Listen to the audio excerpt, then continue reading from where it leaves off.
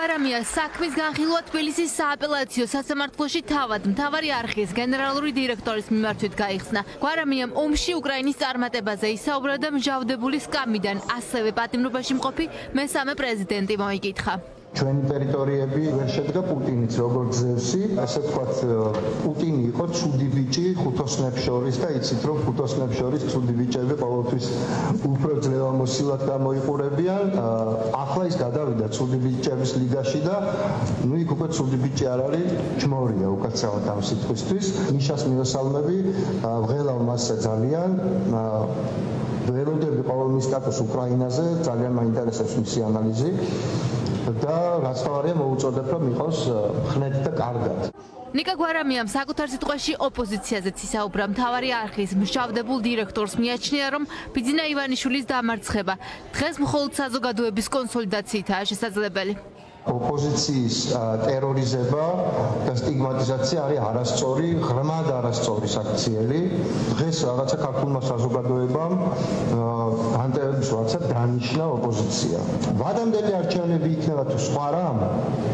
პოლიტიკოსები, ოპოზიციონერი პოლიტიკოსები უნდა შევიდნენ ხელისუფლების სამოქმედო ველში და იქ დაამარცხონ ხელისუფლება.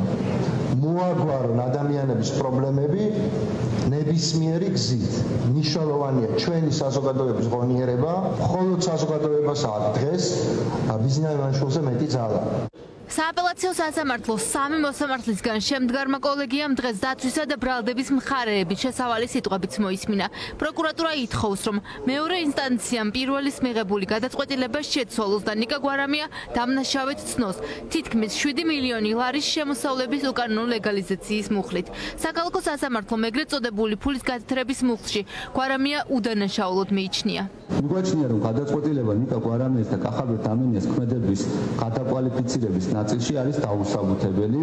ამ ნაწილში განაჩენი უნდა შეიცვალოს, და შავდებულთა ქმედება უნდა დაკვალიფიცირდეს 192 მუხლის მეორე ნაწილის A და D ასევე ამავე მუხლის მესამე ნაწილის B ქვეპუნქტით. პირველმა ინსტანციის სასამართლომ ნიკა გვარამია ყველა წარდგენილ ძირითად ბრალდებაში გაამართლა, თუმცა კვალიფიკაციის შეცვლის შემდეგ კომპანიაში უფლებამოსილების ბოროტად გამოყენების ფაქტზე ის დამნაშავეცნო.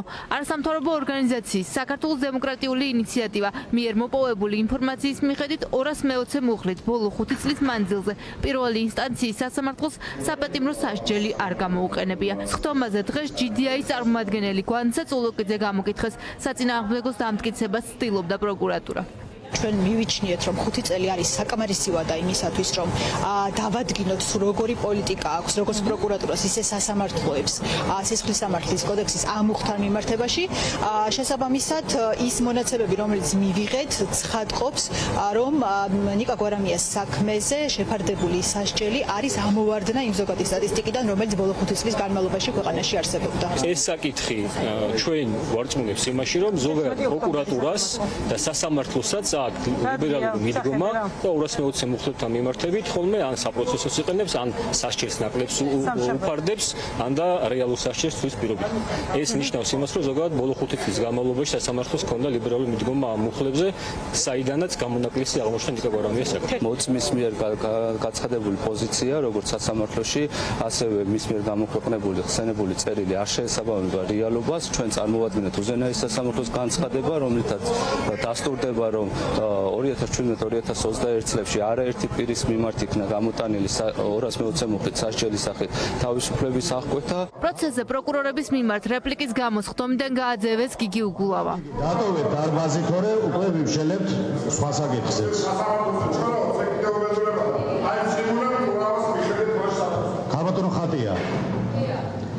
გაფრთხილებ თქვენს სააპელაციო სასამართლოში პროცესს ესწრებოდნენ მედიისა და არასამთავრობო სექტორის წარმომადგენლებიც. მათი შეფასებით, თუ კი სააპელაციო სასამართლო ნიკა გვარამიას საქმეზე პოლიტიკური გავლენებისგან თავისუფალ ობიექტურ გადაწყვეტილებას მიიღებს, მაშინ შესაძლებელია ევროკომისიის მიერ დადგენილი 12 პუნქტის შესრულებას მან ხელი შეუწყოს.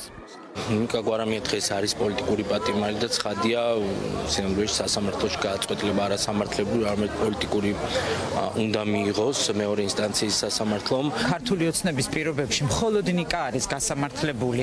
აი ამ რაღაცა გამოგონილი მუხლით ესეც ნიშნავს იმას რომ როგორი პოლიტიკურია ეს საქმე და როგორი ანგარიშწორება ივანიშვილის თავისუფალი მედიისა და კრიტიკული მედიის მიმართ. არ არის გამორიცხული რომ პირველ რიგში დასავლეთის ზეწოლის გამო რეჟიმმა მიიღოს ეს გადაწყვეტილებმა ოლიგარქმა გადადგას ეს ნაბიჯი და თავისთვის რაიმე პოლიტიკური ვაჭრობის თვალსაზრისით რაიმე სარგებელი მიიღოს.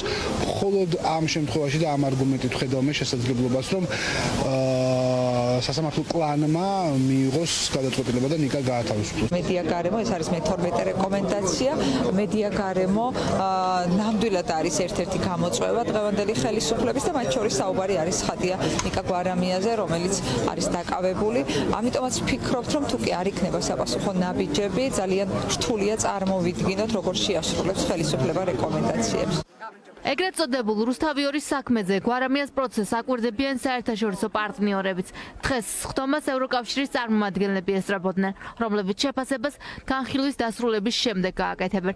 პროცესი მხარეების დასკვნითი სიტყვებით 4 ოქტომბერს გაგრძელდება. უკვე ჩანიშნულია დასკვნითის ხდომაც. სავარაუდოდ 11 ოქტომბერს ნიკა გვარამიას საქმეზე სააპელაციო სასამართლოს სამი მოსამართლისგან შემდგარი კოლეგია გადაწყვეტილებას გამოაცხადებს.